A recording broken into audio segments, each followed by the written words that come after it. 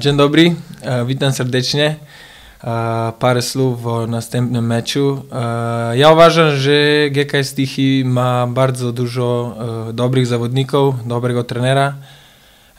Teraz widzimy, że dużo punktują, ale na boisku nie grają nazwiska, tylko zawodnicy. I ja myślę, że jak zostawimy większe serca na boisku, że trzy punkty zostaną w Grudziądzu. E, Ja wierzę w moją drużynę i mam nadzieję, że wygramy ten mecz. E, Będzie ciężki mecz, ale my walczymy o, o życiu i damy radę. Dziękuję. Kilka słów o meczu. Y, Przed nami na pewno bardzo ciężki mecz. Y, Gramy z drużyną, która na wiosnę bardzo dobrze punktuje, ale gramy ten mecz u siebie i u siebie mecze musimy wygrywać. Wszyscy wiemy w jakiej jesteśmy sytuacji i dla nas ten mecz będzie bardzo ważny, tak jak każdy następny, ale skupiamy się tylko na tym meczu. W trzech meczach nie zdobyliśmy kompletu punktów i czas na to, żeby zdobyć te trzy punkty, a mówię, gramy u siebie przy własnej publiczności, tych meczów nie można przegrywać i będziemy walczyli o trzy punkty. Musimy zostawić dużo zdrowia na boisku i dołożyć jakości w ofensywie, nie stracić bramki. Uważam, że to będzie recepta na zwycięstwo w tym meczu. Dziękuję bardzo. Witam serdecznie wszystkich e, kibiców piłki nożnej, a szczególnie kibiców e, Olimpii Grudziądz. No przed nami bardzo trudne spotkanie z drużyną GKS-u Tychy.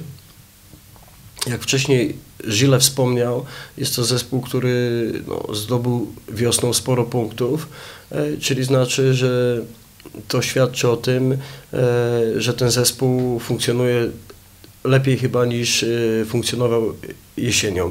Ma kilka indywidualności, tutaj nie będziemy wymieniali, aczkolwiek, aczkolwiek można. E, e, Grzeszczyk, kapitan zespołu, który, który decyduje o, o arytmii prowadzonej gry, decyd, potrafi strzelić bramkę, wypracować i jest takim liderem tego zespołu e, na pewno na boisku i poza nim. Na pewno cieszy mnie poprawa gry w obronie, poprawa gry yy, w obronie stałych fragmentów gry. Yy, Jest poprawa, aczkolwiek martwi mnie troszeczkę ilość sytuacji, jakie sobie jeszcze wytwarzamy i miejmy nadzieję, że w tym najbliższym spotkaniu yy, to się zmieni.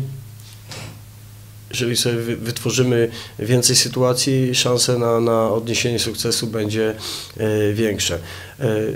Pozytywem jest to, że, że wszyscy zawodnicy praktycznie są zdrowi, mogę skorzystać z całej kadry i każdy trener chciałby być w takiej sytuacji, że może wybierać ze wszystkich zawodników, jakich posiada e, w kadrze. Różnice między zawodnikami są naprawdę bardzo minimalne. Mam, posiadam zawodników o podobnej jakości, po dwóch na jedną pozycję i przy tym natężeniu meczu, meczy na pewno będę starał się rotować dalej tym składem i miejmy nadzieję, że to przyniesie pozytywny efekt w postaci zwycięstwa. zwycięstwa. Ze sportowym pozdrowieniem trener Olimpii Grudziądz Dariusz Kubicki.